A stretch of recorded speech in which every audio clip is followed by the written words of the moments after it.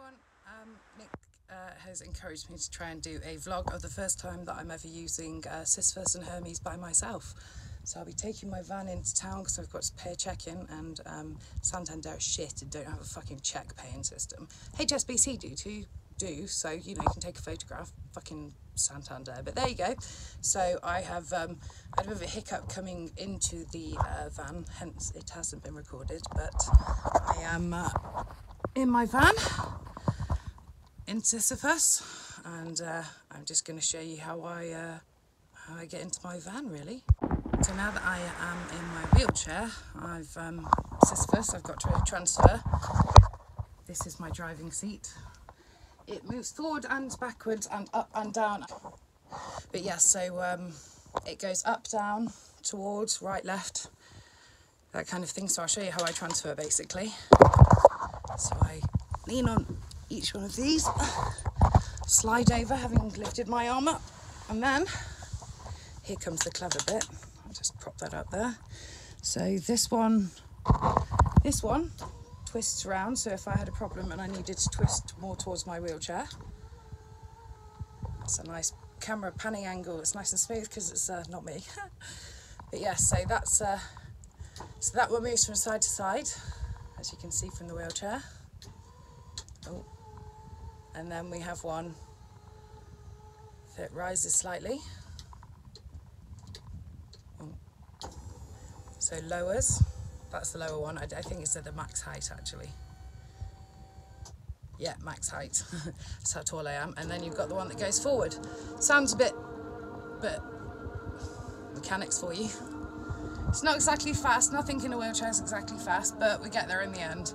Sorry if I sound a bit weird. I'm really hot and I need to get a drink. So in a minute, once I've got to my uh, spot, so that's perfect.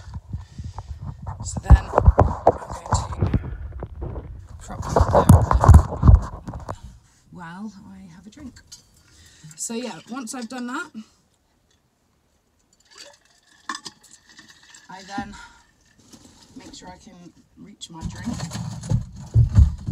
Oh, God, where do I put my fucking drink? So I'll put my seatbelt on, off we go. Right, just to make it easier so that I'm paying attention to my driving because it's just me, I shall see you on the other side. Right, so I have made it to the town in one place.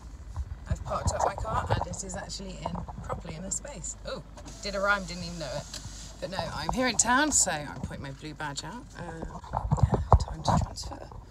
I keep on having to remember there's two bits to my key and I haven't quite started. I haven't quite got a key ring for it yet because it's one of those funny ones, so I'm going to have to get a pouch or something for it. So it's, uh, it's one of the things I'm going to have to figure out. So here I go. Slow, but you know what? I can't complain actually. It's pretty clever.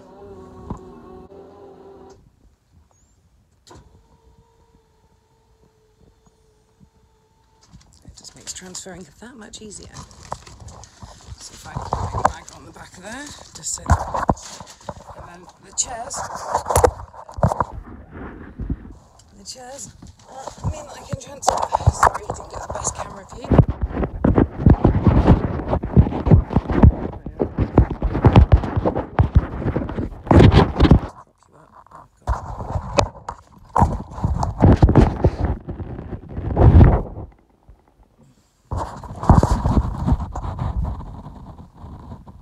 Right, press my button and it opens doors and it gets the ram down. Rather clever stuff, I have to say. I'm in love. I also hate the fact I need to use it, but I'm in love. So I'll just reverse out.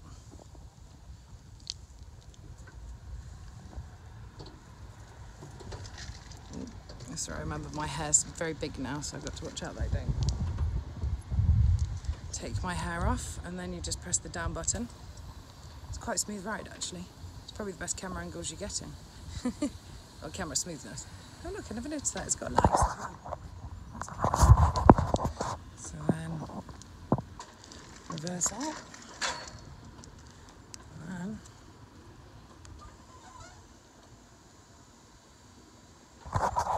Goes.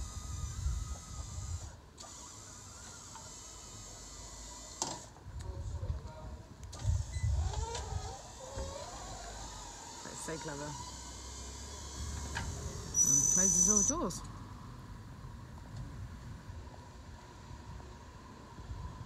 So clever.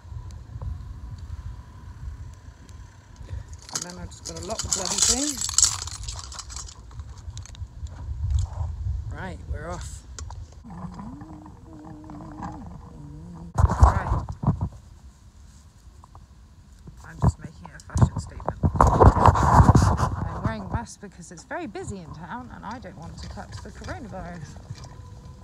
I mean, if I catch it, I'm a high risk patient as I've got asthma, so I'm more likely to die. So let's not play that game, shall we? Mad Max, sexy look. See, I'm trying to go for the post apocalyptic Mad Max 5 look.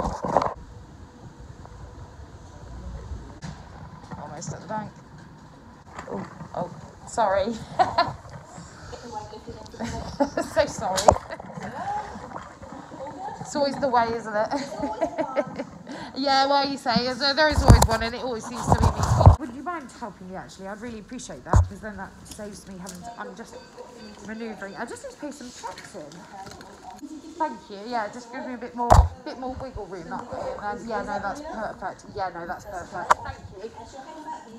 Thank you. I really appreciate that. Do you know what? It's my first ever time doing dreads, and my friend was like, "Do something different," because I don't have the guts for it. And I was like, "Yeah, go on then. I'll try it." My dad's my dad's old school, so he's a bit um. Yeah, he, he prefers uh, he prefers me just being his little girl, so uh, a little bit of a difference. Well, it does. And plus, him, he's like 70 odd, so he's still, yeah, so to be fair, he's kind of used to the old school stuff, so yeah, drugs weren't really something he imagined in my future, but there you go. Was like, tough daddy, I like it, so it's, it's, it's staying, so you may as well get used to it now.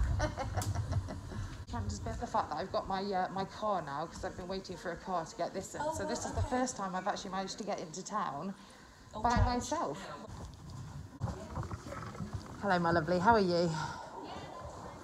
Not too bad, thank you. Not too bad. Um, I tried putting this into the deposit thing, but it doesn't seem to like my check for some reason.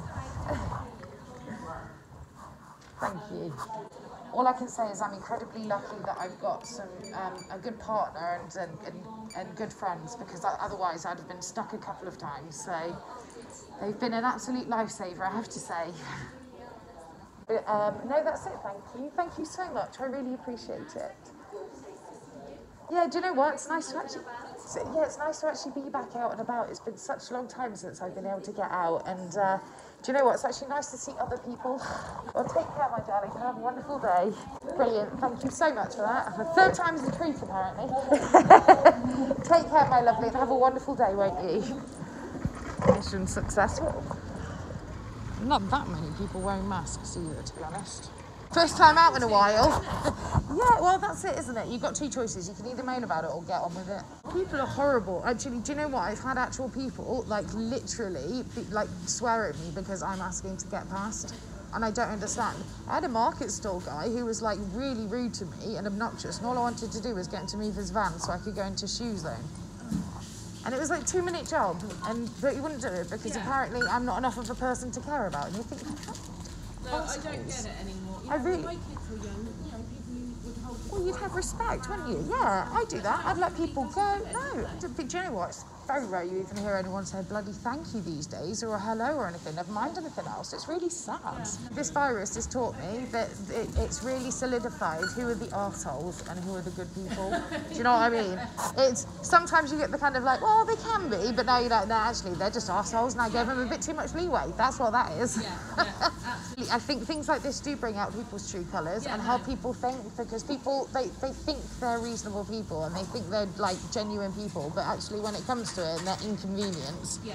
people get really aggressive about it. I mean, I, in Nottingham, I had it where um, a guy once threatened to stab me because I was in the disabled spot because he had a pram.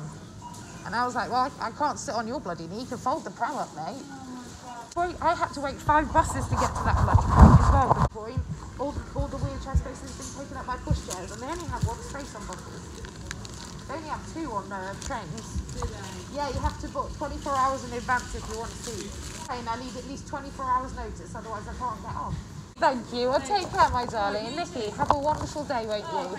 Well, you're back in the my day nonetheless. Take care, my darling. Oh, what a lovely lady.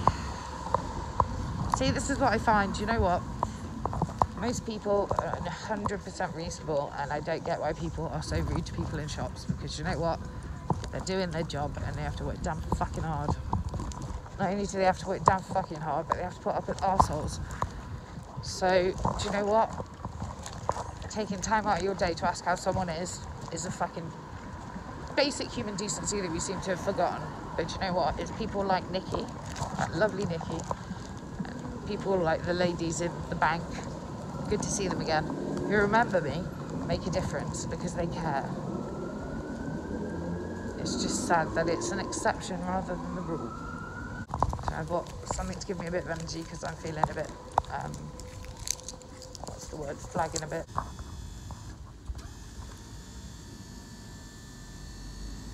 Dock my I really fucking hope that most people are reasonable people. But you know what I've just fucking watched? I've just watched some lazy fucking bitch buy some shopping and put the fucking shopping trolley in a disabled parking space so that us cripples cannot get in. Fuck's sake! Learn to be respectful and considerate of other people, you prick! two fucking two trolleys and disabled parking space where some prick's just been a lazy fuck. Unnecessary. Why? Why? Why? So I am back in the car. I'm bloody knackered. Um, I'm probably gonna just go home and um, try and finish this up. Um, I don't know what I'm gonna do now. I think I might just go home and rest because I'm a bit tired. So uh, that's what it's like on my first journey. I shall show you the mechanism properly when we get back, if I remember. if not, thanks for watching my uh, solo journey and uh, have a good day.